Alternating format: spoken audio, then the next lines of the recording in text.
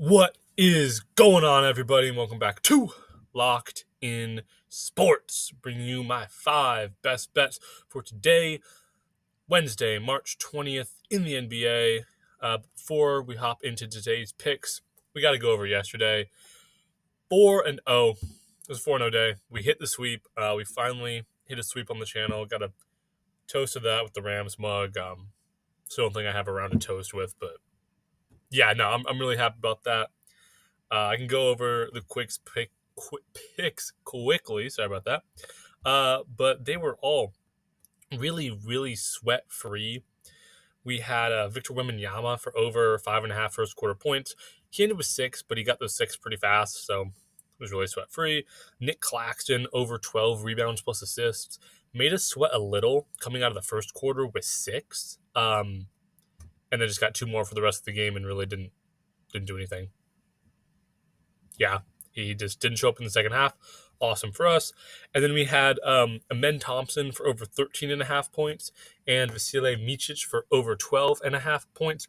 They both hit in the first half. Um, absolutely, absolutely sweat free. Yeah, it was a great day. Uh, four locked in sweat free bets, and we swept I'm super excited about that. Um, yeah. And for the cutting room floor picks in that video, those went uh, two for three. So really awesome there too. Uh, yeah, no complaining about yesterday at all. Awesome day. Let's do it again today. Let's make this a 9 and 0 run. I can see it happening. So let's hop into these picks. All right. First pick coming at you guys is from the Cavs versus Heat game and is Georges Niang for over 10 and a half points. Why Niang? Uh, because he averages 12 points against the Heat, um, which is just above this line, but he's doing that on 20 minutes. He's been averaging about 26 over his last 10. Uh, and I will be real, he's averaging about 11.1 points over his last 10 games. So just above this line, but above the line. Uh, but I think the fact that he does so well against the Heat and he's playing uh, an extra six minutes more than he previously did against the Heat just points to him really having a great matchup here, um, having a really good opportunity to beat this line. He's also been over it in four out of his last five games.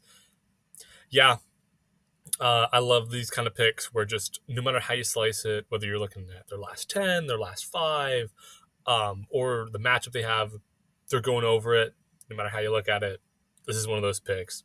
Lock it in. Uh, Georges Niang for over 10 and a half points. Next up, I got a pick coming at you guys from the Pistons game, and it's Jalen Duren for over a double double. Uh, I know this isn't a great value pick, but it's 100%. Like, it is so, so, so for sure going to hit uh, that I couldn't pass it up. I know it's not great value.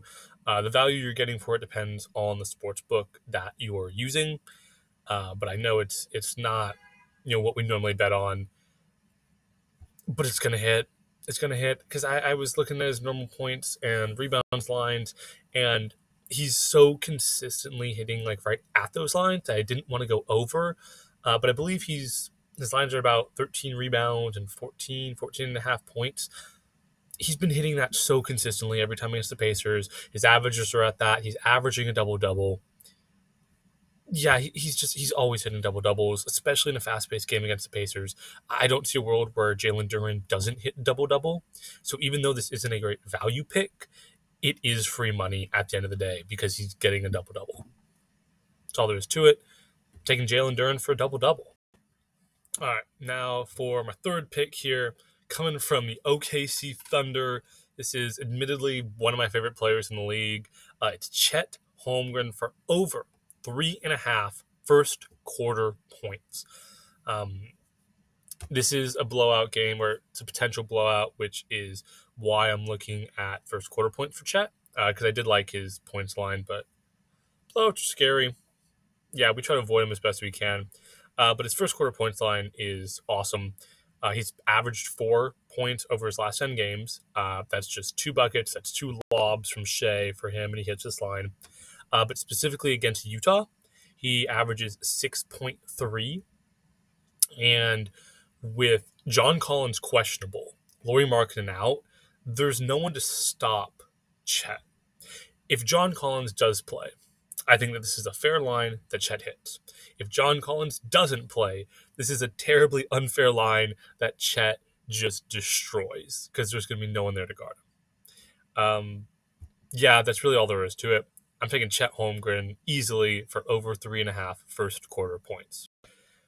Next pick here is coming from the Golden State Warriors. Um, it's a player we took before. He didn't hit for us before, but here at Locked In Sports, I really like to trust the data more than I trust my own personal feelings and what players have wronged me in the past. Except for Mikal Bridges, we don't bet on Mikal Bridges. That's just a matter of principle. Uh, but I know Kuminga didn't hit it for us before, but his line today is really, really good. I'm taking his over 18 and a half points. Why? Because he's been averaging 20.8 points over his last 10, and he averages 24.5 against Memphis. I know it's a potential blowout game, but he does so well against Memphis that this line is really hard to pass up. His line is so low for the day. Kuminga has been on a really good hot streak. Uh, he's had 22 plus points in four out of his last five. Yeah, this is one of those picks. I think no matter how you slice it, it's a really good looking pick. If you want to take his first quarter points, I like that as well. I couldn't find his first quarter line, so I'm presenting his full game line here. But if you want to take his first quarter points, I don't hate that at all. Go for it. But personally, I'm just taking Jonathan Kuminga for over 18 and a half points. All right, now for my fifth and final locked in pick of the day. It is Anthony Simons of the Portland Trailblazers for over 23 and a half points. Why? Uh, because the average is 28 against the Clippers. Yeah. Yeah. And he's been averaging 27.4 over his last 10. He's hit this line in his last three games. Um, yeah, it, it's one of those situations where no matter how you slice the pick, I think he's going over. I will concede. Uh, there's blowout potential here, but Anthony Simons doesn't do great in the first quarter against the Clippers. He does about where his line's sitting at, at about four points. Um, I believe it was about four points. But for the whole game, he blows past this line. Uh, he's been playing really good minutes against the Clippers, even though it is a potential blowout game. Um, he's still getting his full minutes in his games against them. And I just really feel like, despite the point spread on the game, Anthony Simons is in a really good place to hit this line uh, because he's done it before. And I think he does it again. Simple as that. So I'm taking Anthony Simons for over 23 and a half points. All right, those were my five best bets and player props for today, Wednesday, March 20th in the NBA. Uh, before the video ends, as you guys know, um, if you watch these videos a lot, or if you're new here, I'll make this little speech for you. Uh, at the end of every video, I like to hand out what I call my cutting room floor picks. I dig up a lot of picks uh, when I do my research for these videos. I do a lot of research for them. And I don't hand all of them out in the main section of the video. Uh, I don't fully endorse all of them, but I have all these picks that I think are going to hit. I like them. Um, and I don't just want to leave them on the cutting room floor because they're good picks. And if you guys need something to add to a parlay, or you were thinking about the pick anyway, or you just like the player, then yeah, I'm to hand them out to y'all here. So I'm to rattle them off real quick. Real quick. Sorry about that. Uh, I have Jimmy Butler for under 22 and a half points. He only averages 13 against Cleveland, and he's been averaging 21.3 over his last 10. Um, he was out for two games, but before that, he only hit this line in one of his last five, and that was with 23, so barely over. Uh, Cade Cunningham for over 21 and a half points.